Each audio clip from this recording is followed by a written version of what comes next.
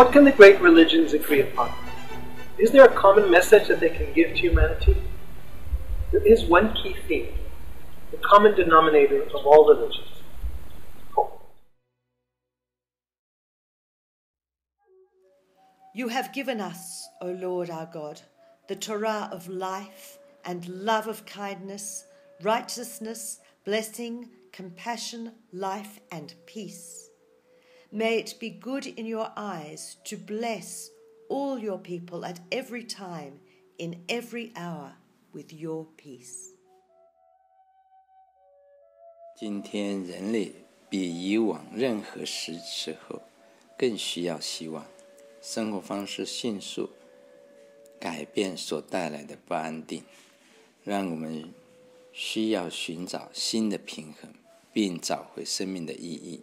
在全球化的时代，宗教需要为人类幸福提供最深的智慧，并关切地球的稳定及永续生命的和平。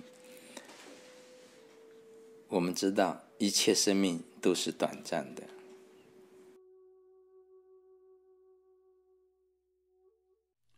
The one who created the world also takes care of it. He dwells in every heart and mind. He is the true protector. His creative power and capacity is infinite and incomprehensible. He is as great as he is carefree. O mortal being, meditate upon him as long as there is breath in your body. ॐ द्यौ शान्तिः अन्तरिक्षगुं शान्तिः पृथिवी शान्तिः आपशान्तिः ओषधयः शान्तिः वनस्पतयः शान्तिः विश्वे देवाः शान्तिः ब्रह्मशान्तिः सर्वं शान्तिः शान्तिरेव शान्तिः सा मा शान्तिरेधि। O God of hope, enable us to hope in you and in your promise to heal the brokenhearted, set the oppressed free, and restore and reconcile to yourself all things. the need we have for much deeper reconciliation one with another is possibly the most important item on the world's agenda for peace. We will never get peace in the world unless Islam, Christianity and Judaism are at one in mutual respect, in mutual affirmation. Not identified, identical, but one in the mutual acceptance that it is the one God we worship. O God, teach us that tolerance is the highest degree of power and the desire for revenge the first sign of weakness. O God, if you deprive us of our property, give us hope. If you grant us with success, give us also the will to overcome defeat. If you take from us the blessings of health, provide us with the blessings of faith. O God, if we sin against people, give us the strength of apology. And if people sin against us, give us the strength of forgiveness. O God, if we forget thee, do not forget us. Amen. אדון השלום, מלך שהשלום שלו, עושה שלום ובורא את הכל. Avinu Shebashamayim, Mekor Kol HaBrachot. Our Father in heaven, source of all peace. Give us the energy, the inner strength to hold together this eternal flame of peace so that every human being, every child, man, and woman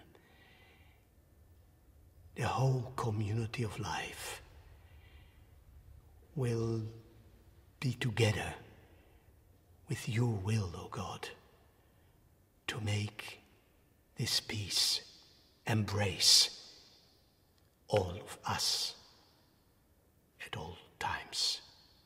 Amen. Om Shanti. I remind myself that in my eternal form, I am a being of light, I am a being of peace, quite separate from this physical form that I occupy. And in this awareness of inner peace, I connect with God, the bestower of peace, the ocean of peace.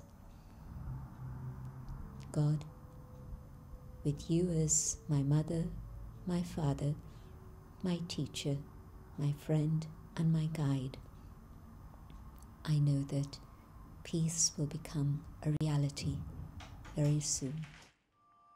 Om Shanti.